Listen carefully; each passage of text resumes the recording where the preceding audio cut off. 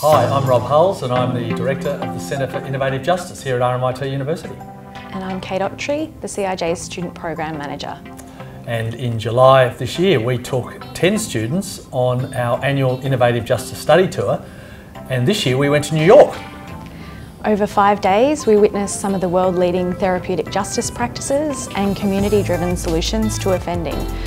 It was a fantastic trip, um, but I would say that, wouldn't I? Don't listen to me, or Kate for that matter. Let's hear what our students had to say.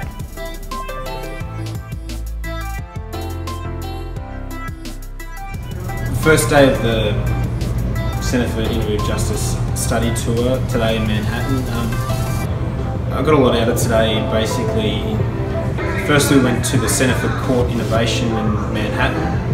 Um, learn a lot about the programs that they've been developing in court reform. Um, we listened to some people talking about peacemaking, which is like a roundtable restorative um, approach to justice that they use here. And then we listened to some defence attorneys, the social worker and the prosecution discuss how they work in a really collaborative way and non-adversarial way. The judge I've got to admit, it was probably the best judge I've ever heard. I'd love to see something like that judge in Australia. She was fantastic. She had empathy. She um, she would call on the, um, as they call them clients, they don't call them uh, offenders. She would call on the client, you know, do you really want to do a program? And she could sort of tell by their body language, but she also, she showed a lot of care. Um, this morning we met with Judge um, is a, a, judge has an approach to justice that's innovative and that, that, addresses the root cause of the problem.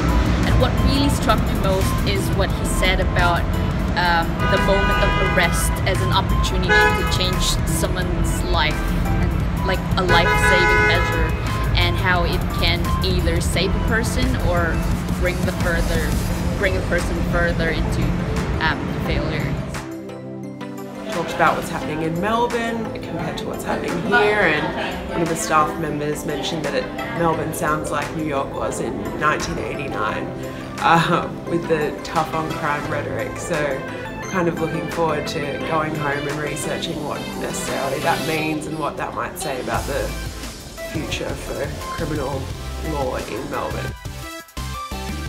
Overall, my biggest reflection is based on something that Kate said about um, whether there's hope for the future.